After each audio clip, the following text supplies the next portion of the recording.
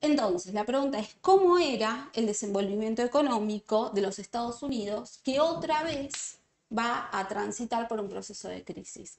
La verdad es que tenemos que pensar en dos aspectos la crisis de los Estados Unidos.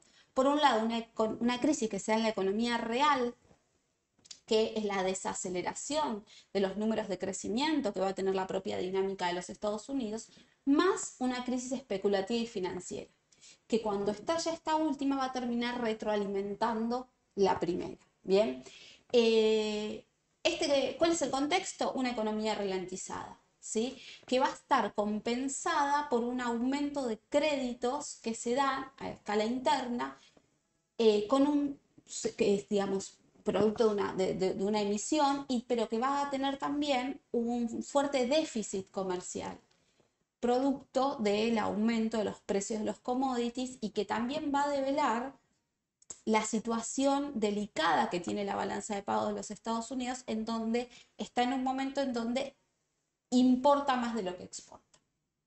¿Sí? De hecho, podemos ver la dinámica del crecimiento del PBI a partir del 2007, en donde hace una abrupta caída y que va a llegar a números negativos entre el 2008 y el 2009 va a tener un crecimiento de menos 2% en los Estados Unidos.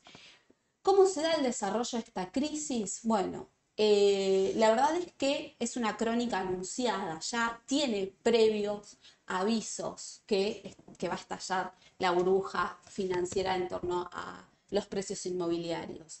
En primer lugar, va a haber una, entre mayo y junio del 2006, una fuerte caída a la bolsa y en febrero del 2007 va a suceder lo mismo. Paralelamente, los valores de las propiedades se van a las nubes, los agentes inmobiliarios le empieza a resultar cada vez más difícil encontrar nuevos compradores, los precios de las propiedades empiezan a bajar y acumularse viviendas inhabitadas. A esto se, suma que la tasa de interés empieza a subir y muchos se encontraron con que no podían pagar las cuotas de sus, hipotecas. Con lo que cada vez más créditos pasaron a la categoría de incobrables.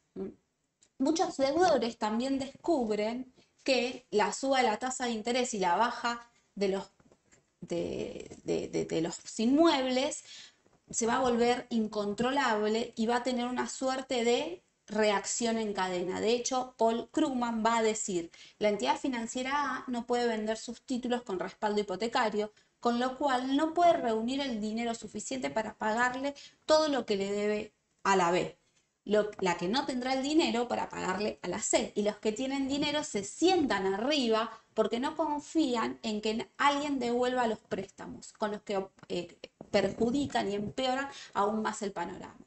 La crisis estalla en 2007, ¿sí? en donde una serie de bancos se van a declarar en default, a lo mismo que eh, institutos digamos, de inversión norteamericano, generando una fuerte caída en la bolsa de Wall Street y los mecanismos de expansión de esta crisis a escala global van a ser muy rápidos. En tan solo un mes se va a replicar en Europa, declarándose el default del principal banco alemán como también el francés. ¿Cuál es la respuesta de los estados? El salvataje los bancos centrales de los países desarrollados salen a inundar de divisas el mundo para evitar una quiebra en cadena. De hecho, el primer mes desembolsan 500 mil millones de dólares, ¿sí? en este primer mes de septiembre del 2007, llegando a un billón de dólares para diciembre.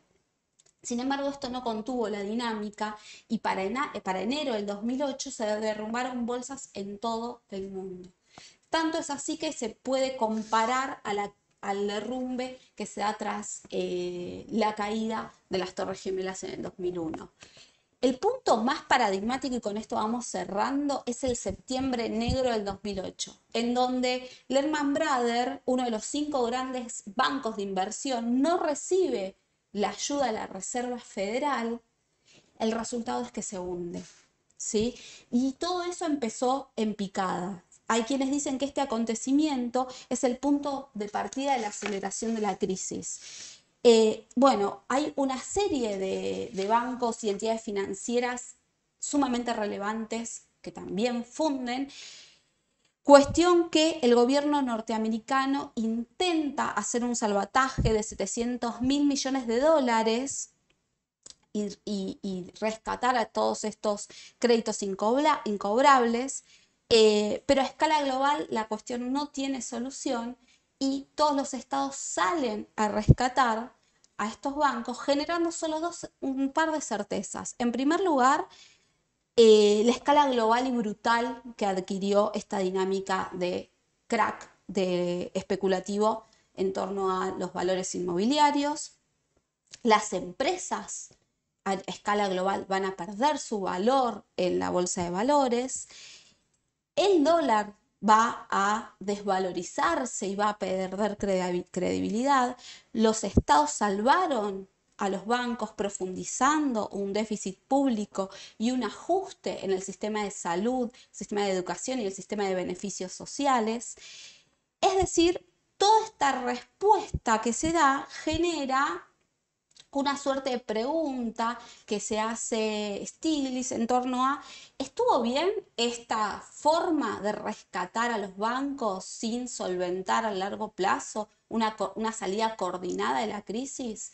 La verdad es que las crisis se vuelven cada vez más recurrentes en este mundo este, convulsionado.